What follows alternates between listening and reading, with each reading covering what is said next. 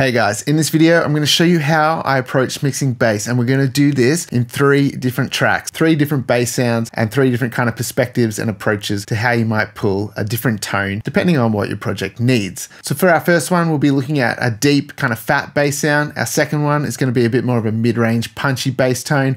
And then our third one is going to be a bit more aggressive, a bit gritty. So for our first example, we're going to take a look at getting that deep, fat, warm bass tone. And for this example, it's a bit of a country pop ballad.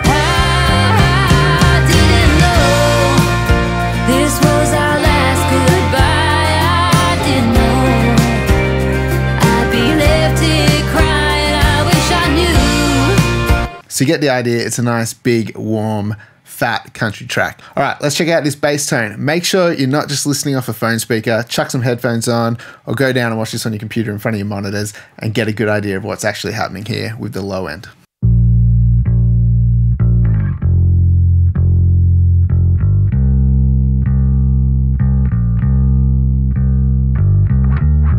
So I actually played the bass track and I used my Fender Precision and we used fingers to get that nice warm round bass tone. And all we did was run through a SansAmp. These aren't the actual settings, but it has a parallel out. So we take the clean DI out and a bass tone from the SansAmp and then that's running into Logic. So you can see here, we've got our bass bus and in that we've got our bass DI and our bass SansAmp signal. So we're gonna just turn off all this processing and have a listen to what these sound like. So this is the DI sound.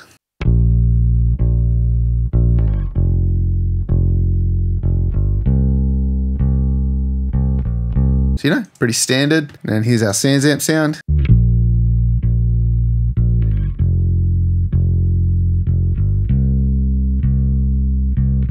So you can hear it's a little bit more scooped out, a bit more of that Ampeggy kind of sound, a little bit of click to the top end, tiny little bit of drive in there with it to add a little bit of that tubey warmth. And then I've blended these together.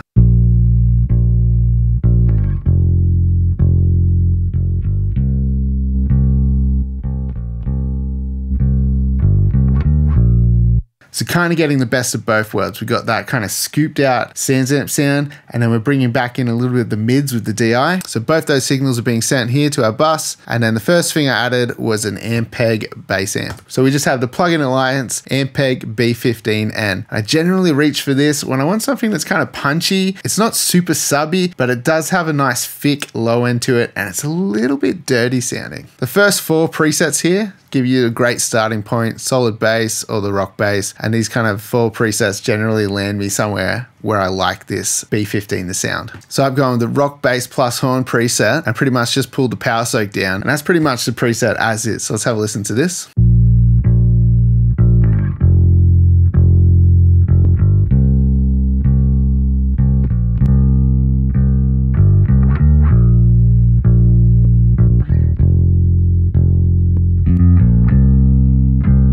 So I really love what this does. You can hear the bass just has a more polished kind of sound after it's passed through this. Then we're just following this up with an 1176.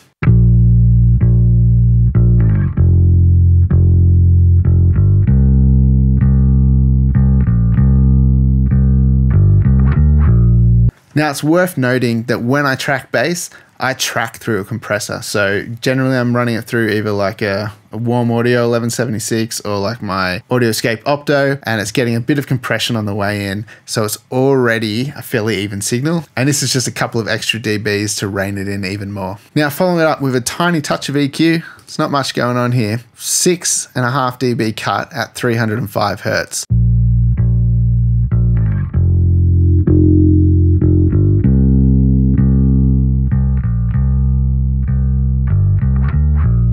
Generally just not a very welcome frequency in bass. It just adds a bit of mud to the mix. Not saying you can't have 300 hertz in your bass, but for this mix, taking a bit of that out just made the bass sound a bit richer and warmer. And that is all the EQ I did on the bass. Shocking, I know. And then just some limiting after that.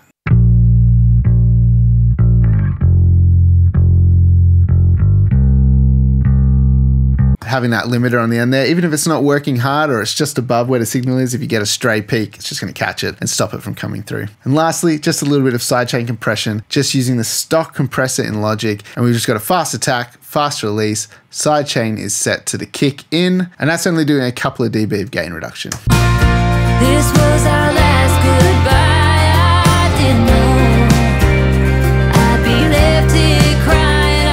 So every time that kick hits, tiny little bit of compression, pushing that bass down, just helps the kick to be a little bit clearer and for the low end to not get too cluttered before processing.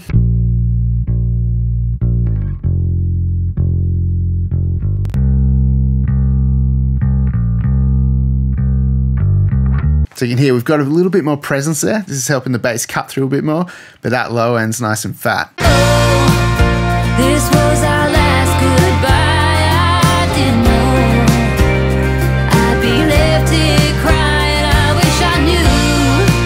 And that's it for our thick, fat bass tone. So generally you're trying to get a good tone on the way in and then you don't have to do as much as you can see here. The DI and the SansAmp sounded pretty good and then this just kind of polished it up a little bit. So that's a pretty simple approach to bass. Didn't do much at all, didn't EQ it too hard, just got a nice bass tone never underestimate the level, like setting your fader in the right spot. You can play around with EQ and cutting this and cutting that, and you could have just brought it down or you could have turned it up a little bit. So sometimes you don't have to do heaps and heaps of drastic EQing. It's just literally about getting the volume right and getting it sit in the mix nicely. So for our second example, we're looking at something with a bit more mid-range, a bit more tone that's going to jump out of the mix a bit more, and the bass is going to be a bit more of a feature as opposed to just fat, thick low end that's making the mix sound nice and full. So this next one is from a track called Livin' Free and a spy, a good friend of mine named Jesse Fildes, who goes under the name Amber Way. So make sure you check out the description link below where you can check out his song. It's an absolute banger and it's got a bit of cowbell in it as well. So you should definitely check it out.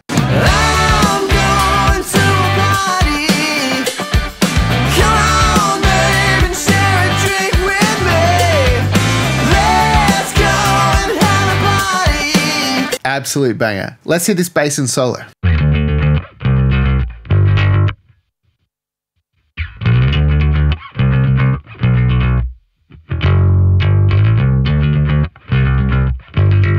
Such a good bass sound. So it's a little bit gritty, a bit mid-rangey, and it just pops out of the mix and you can hear all those notes and it sounds great. So when you're going for a bass tone that needs a bit of clarity, using a pick is always a great way of doing this. I know there's some bass players out there who are like, hate playing with a pick and so oh, you play with a pick you're you're no bass player but seriously it's just a tool to get a sound so if you're one of those bass players suck it up pick up a pick if you need one and stop being a big baby. So a very similar setup to the last song. We've got the bass bus and in that we've got a bass DI and a processed bass sound that we had when we were tracking. So I'm fairly certain we used Jesse's Kemper and if we didn't, we ran through the SansAmp again. So it sounds very SansAmpy, so maybe it was, but um, maybe it's just a patch in his Kemper. Let's have a listen to our processed Kemper sound.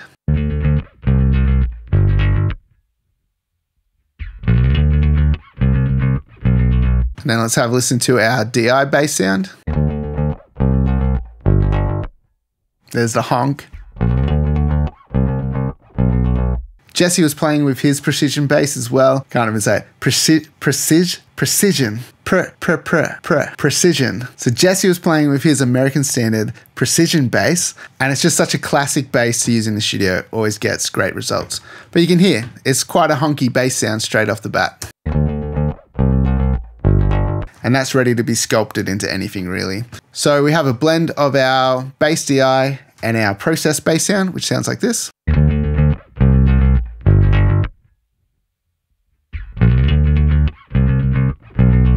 So having that DI in there just gives it that little bit of mid-range. We need a little bit of that honk in there. Helps it cut through on the speakers a little bit better. So our first plugin on the bass bus is the UAD Ampeg SVT VR. So this is a nice punchy bass amp sound.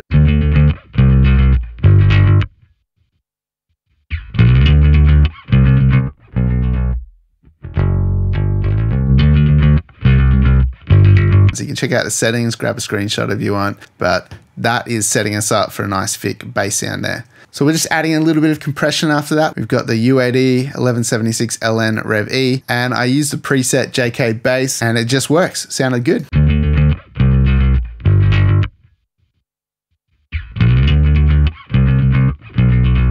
So pretty much the kind of settings I would load anyway. A fairly fast attack.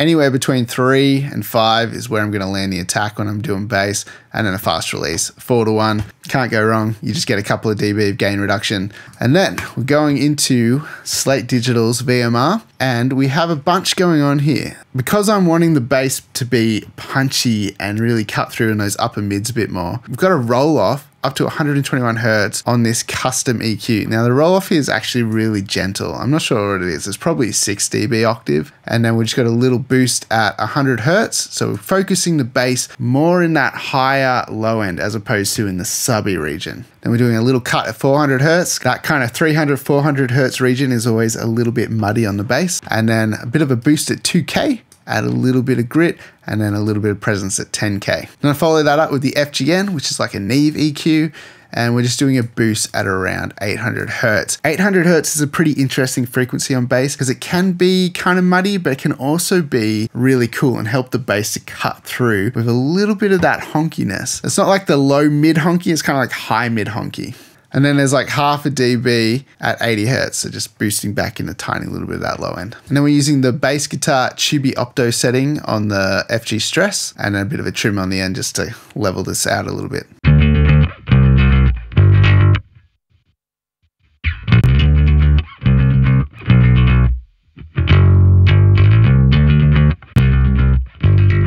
It just gives it heaps of character. And then typically what you're going to find at the end of my bass chain is just like a Waves L2 just to catch any peaks, rein the bass in.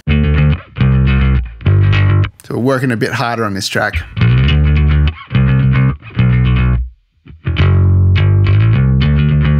Really locking that level in on the bass. And then a little bit of EQ post limiter. So this is an EQ that would have appeared as the mix progressed and I needed to tweak the bass tone a little bit more to make it sit in the mix a bit better. So we did a little cut around 250 Hertz, little cut around 70 Hertz. That would be where the kicks fundamental would be hitting and we've just done a little cut there just to kind of make a bit more room for the kick and the bass to live together nicely a bit more boost in these mids, really just trying to bring that mid range out. We've gone for around 670 hertz. This is going to help it cut through the little speakers a bit better. Tiny little cut at 2.2K, 1.7 dBs, just to get rid of maybe some harshness, clickiness out of the pick sound.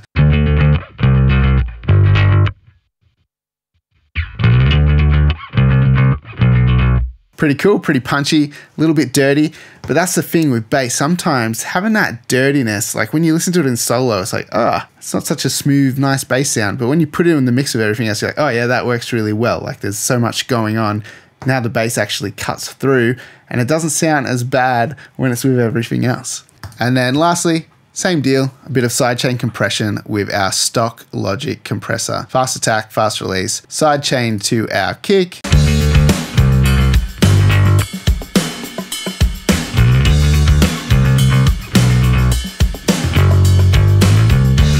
I love those bongos. They're so silly, but it sounds so good in the mix. So here's our tone before. And then after. Sounds sick.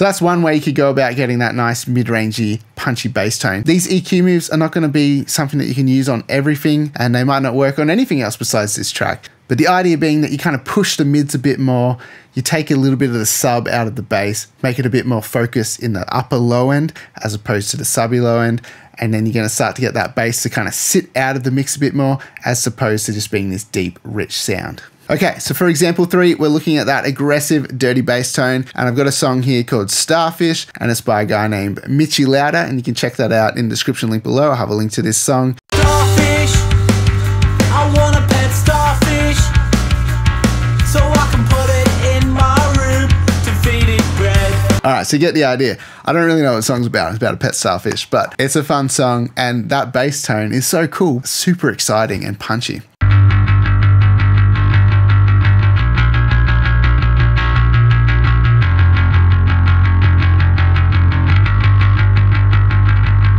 Such a cool bass sound. Now, very similar to the other songs, we've got our bass bus.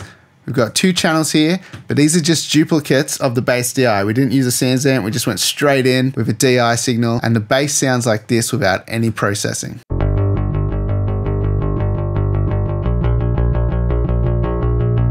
Very stock standard, just clean DI bass sound, right? We've got a blend of two different bass amp plugins here. So they're both by Neural DSP. So the first one is the Neural Parallax, and the second one is the Neural Darkglass Ultra. And we have this one on the, the Vintage Ultra, and I'll explain why in a second. So our main bass sound is coming from the parallax. So we're using just a preset Dave Otero grit, and this just sounded really good to me. I didn't feel like I had to tweak any of the settings in here. It got me pretty much the sound I was looking for.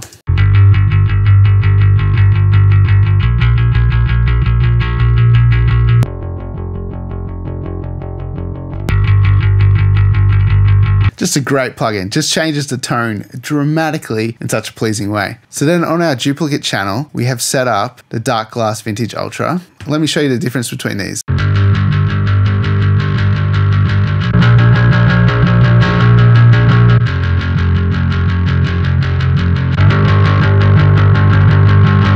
Now I know what you're thinking when you listen to that. You're just like the B7 sounds way nicer, way cleaner. But that dirtiness of the vintage is so cool and it helps the bass to cut through really nicely. So we're using this one a little bit lower in the mix beneath the parallax setting that we have. And that blend sounds like this.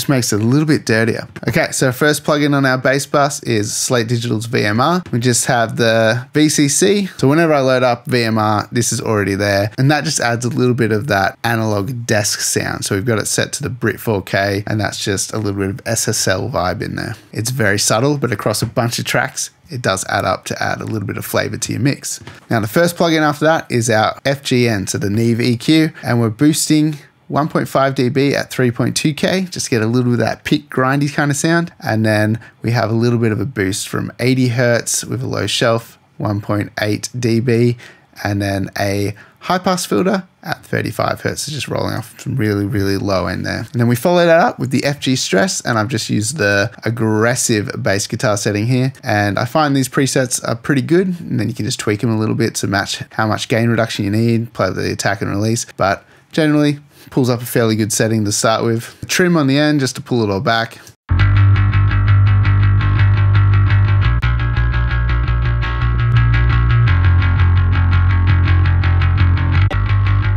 fattens it up, brings the pick out a little bit more in a nice pleasing way. Then we follow it up with L2, classic Spinlight Studio setting here.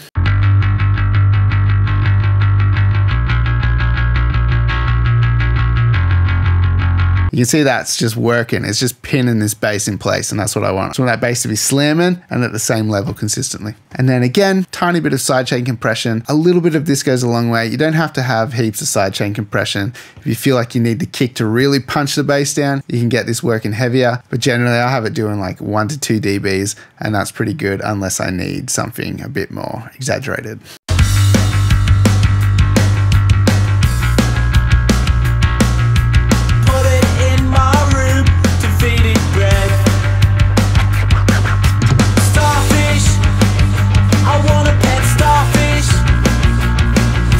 This song's so fun. I just remember Mitch saying, Can we put in some DJ scratches? And I was like, Sure, why not? So, pretty cool. We've taken a very bland, typical bass sound like this and then turned it into this.